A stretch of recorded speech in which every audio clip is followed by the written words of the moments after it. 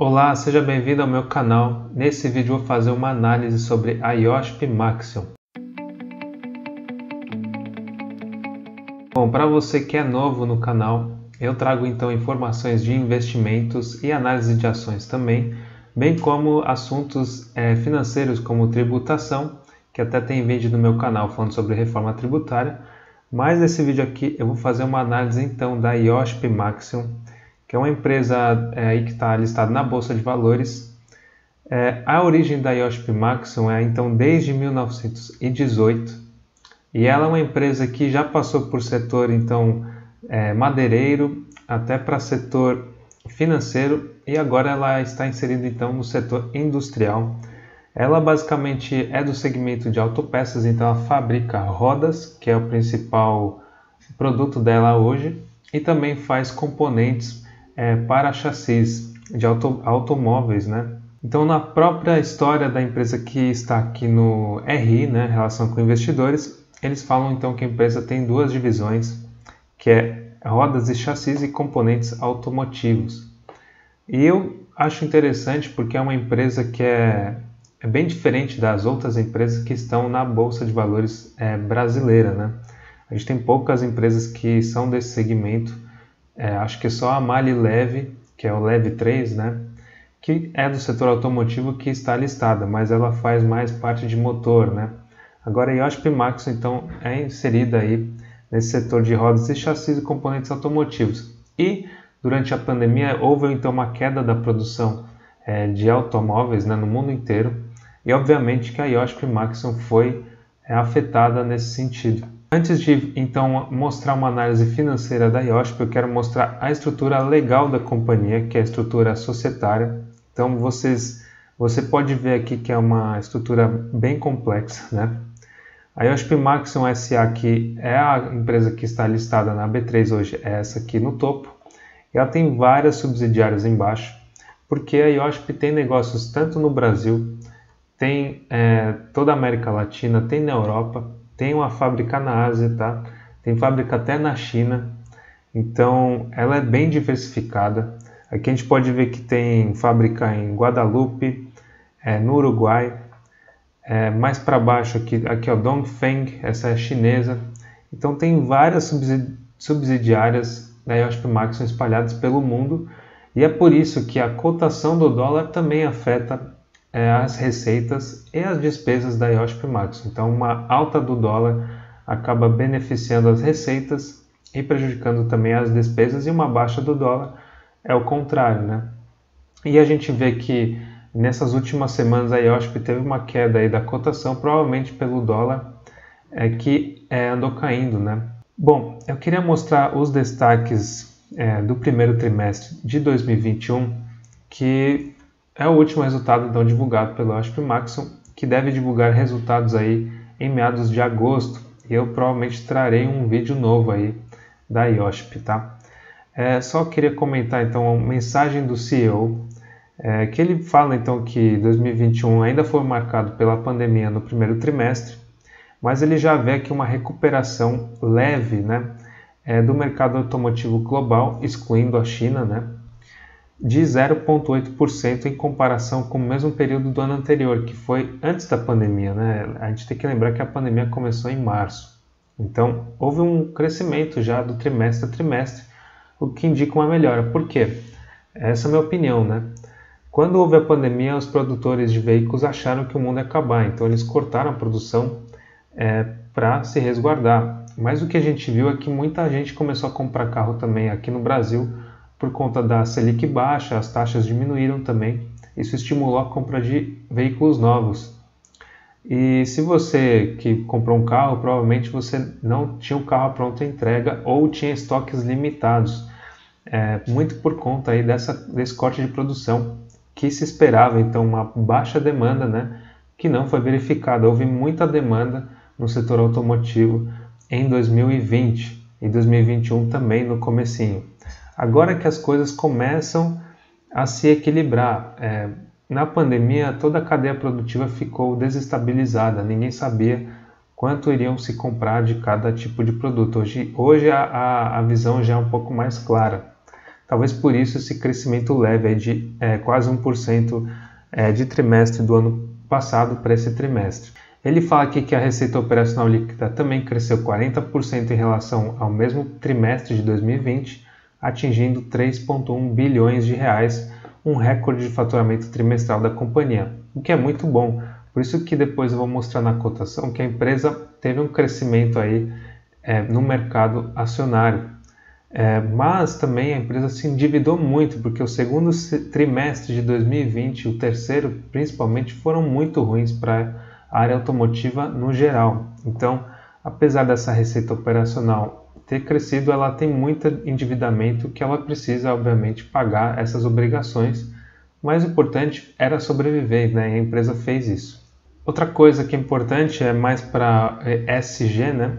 é que a IOSP então estabeleceu uma meta de redução de 30% de gases de efeito estufa até o final de 2021 e colocou mais uma meta que é de 70% até o final de 2030. Por quê? Porque em 2030 a maioria dos países europeus vai cessar então a emissão é, de gases de efeito estufa de veículos automotores, automóveis. Então a IOSP precisa estar em conformidade com as leis europeias. Eu imagino que é, o 100% de eliminação desses gases seja do veículo em si, mas provavelmente deve ter alguma coisa nessas leis europeias que é, indicam que a produção também precisa é, ser então reduzida esses gases, né? A produção eu digo toda a cadeia, né? Porque quem faz o automóvel é a montadora, ela monta, ela não fabrica, ela monta e as peças chegam de vários lugares, né? O motor vem de uma fábrica, as rodas vêm de outro fornecedor e ela simplesmente monta o veículo e entrega ao consumidor final. E esse veículo precisa ter 100% de é, energia limpa, né? E provavelmente deve ter leis europeias estabelecendo que os fornecedores de peças precisam então também ter, ter energia limpa. Não faria sentido só o carro não emitir energia, é, é, gases de efeito estufa, né? Então Provavelmente essa redução vem por isso e como a IOSP tem negócios globais, isso faz sentido, tá? Eu quero então trazer aqui é, a demonstração financeira consolidada da IOSP Maxon. O que, que é consolidada, né? É de todo todo o grupo, né? Todas as subsidiárias da IOSP Maxon estão aqui dentro desse balanço. Então, é, trazendo o ativo circulante é de 6 bilhões de reais, e o ativo não circulante é de 7,5 bilhões de reais. Tá? Desse ativo não circulante, quero destacar uma, uma linha aqui do, da demonstração financeira, que é o, imobilizado. Então, tem muito aí imobilizado porque a IOSP é uma empresa industrial. Então, ela tem muita máquina e equipamento nas suas fábricas. Então, ela tem 4,4 bilhões de reais em ativo imobilizado. O ativo circulante é maior que o, que o, o passivo circulante é maior que o ativo circulante, é de 6,1 bilhões de reais. Isso significa que a empresa não consegue pagar essas obrigações de curto prazo de até 12 meses, se ela precisasse pagar hoje, tá? Então essa é uma coisa para ficar atento quem investe na IOSP, porque o passivo circulante está maior.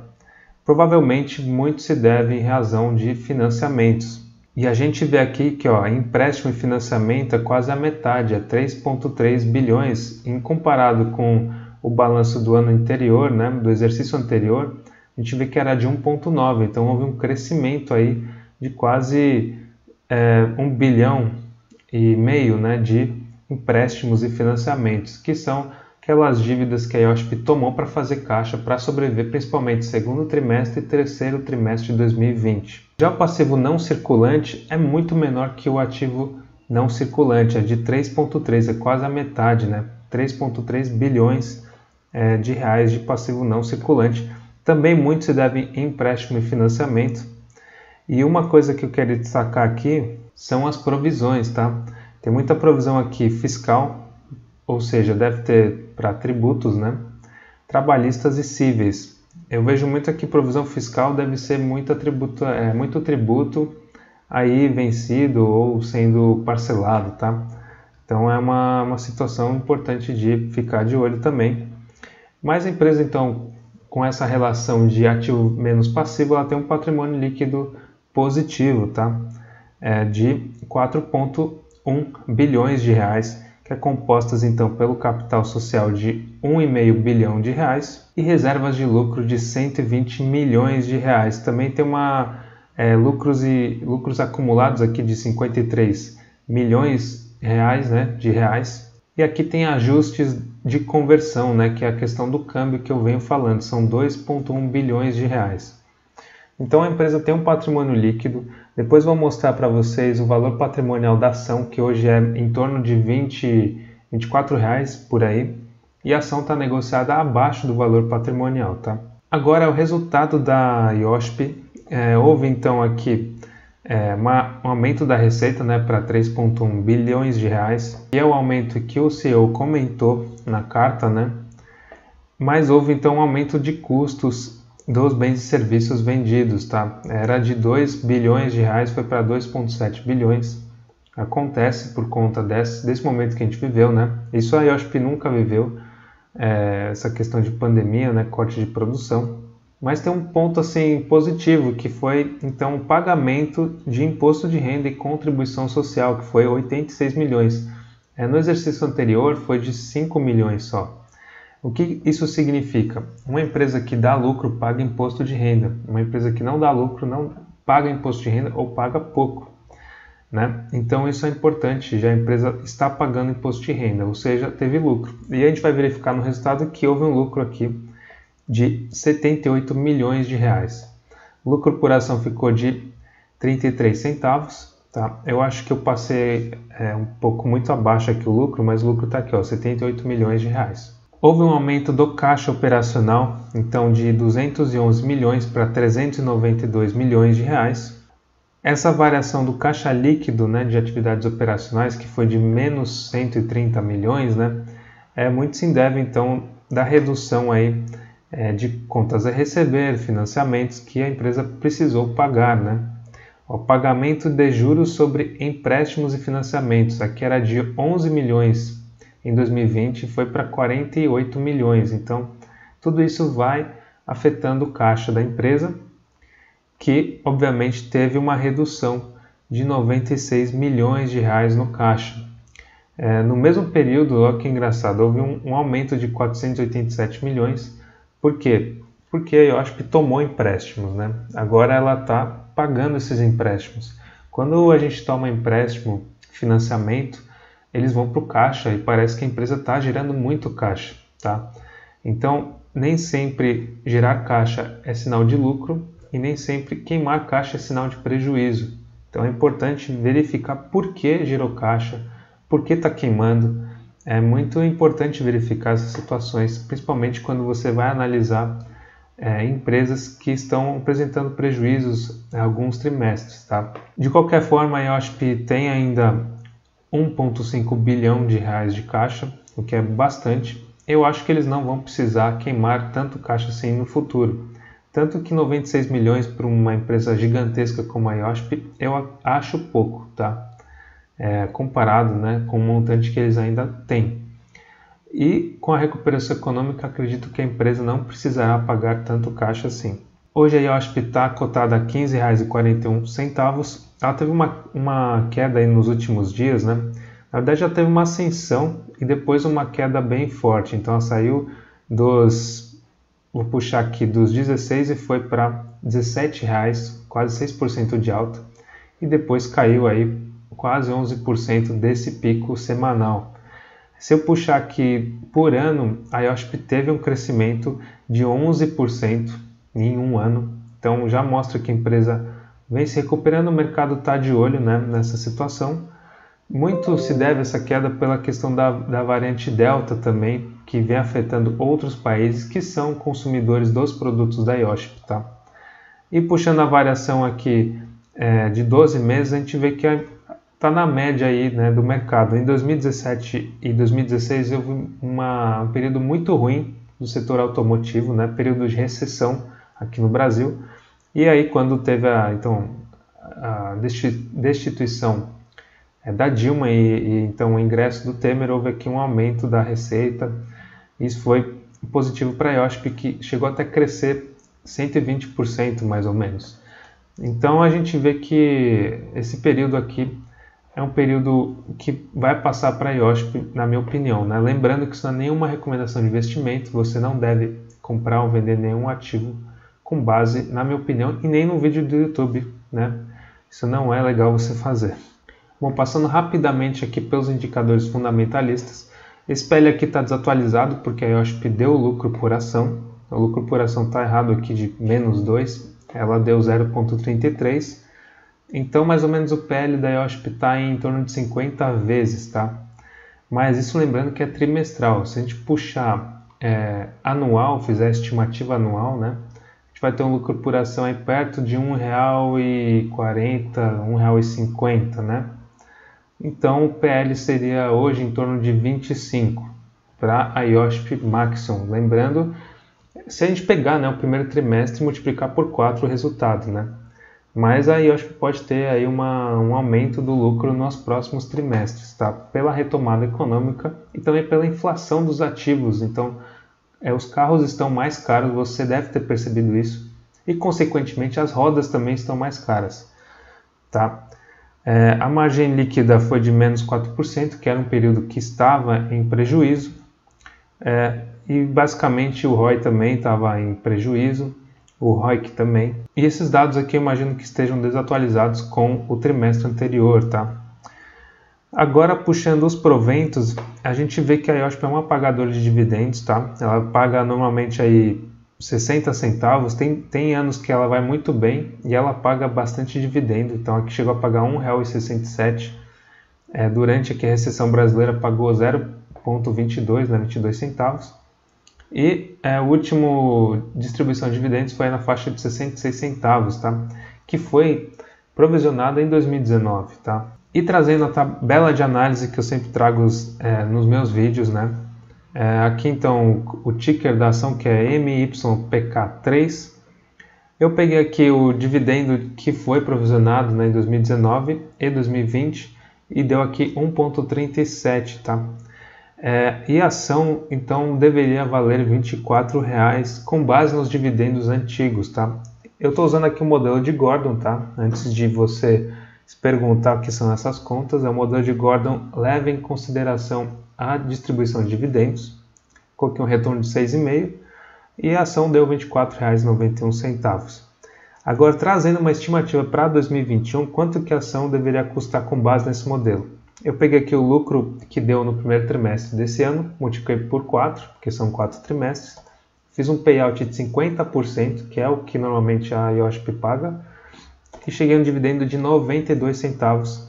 E o valor da ação então dá R$ 16,80. Então a gente vê que a ação está realmente nessa faixa, entre 15 e 17. É o que o mercado está esperando da IOSP Max, é um lucro líquido de 284 milhões de reais trazendo então o lucro por ação anual que eu falei de 0,83 vezes 4, daqui um lucro por ação de R$ 1,32 mais um valor patrimonial é por ação de R$ 24,97. Eu cheguei aqui num valor intrínseco, que é o modelo do Benjamin Graham, de R$ 27,23, tá? Então, o valor da ação está abaixo do valor intrínseco no modelo Benjamin Graham está abaixo do valor estimado pelo modelo de Gordon e está abaixo do valor patrimonial por ação, ou seja, se você vender todo o patrimônio líquido da empresa, todos os, todos os ativos imobilizados, é, liquidar a empresa inteira, você teria que receber 24 reais por ação. E hoje ela está cotada aí na faixa dos 15. Então, a minha opinião da IOSP Maxon, que é uma empresa ainda que vai crescer bastante, que precisa se recuperar é, de todo esse é, setor turbulento que é, está inserido pela pandemia. Né? É, eu acho que a IOSP só vai demonstrar resultado na bolsa, é, ou seja, os investidores vão colocar a mão né, na ação quando ela divulgar os resultados. Então, a cada resultado, a ação vai, o valor de mercado dela né, vai subindo. É, e a gente vai verificando que isso vai acontecendo mesmo. Nos últimos, o quarto trimestre de 2020 já foi melhor, o primeiro trimestre de 2021 também, e se espera que o segundo trimestre seja também um pouquinho melhor. É uma empresa que não tem oba-oba, né? não, não sai na mídia e é uma empresa que você precisa esperar o resultado acontecer. Então, se você chegou até o final do vídeo, por favor, se inscreva no canal, que me incentiva a trazer mais conteúdo desse tipo e também para apoiar, né? Se você achou legal, se inscreve, né? É interessante que você receba esses conteúdos depois, futuramente, que eu vou trazer sempre vídeo aqui. E deixa o like para que esse vídeo vá para mais pessoas, que o YouTube entende que esse vídeo é legal e distribui com mais facilidade. Comenta aí o que você acha também da IOSP. Se você gostou desse vídeo de uma ação que não é tão comentada, né? uma ação é, under, underground né? que fala. E é isso, muito obrigado e até o próximo vídeo.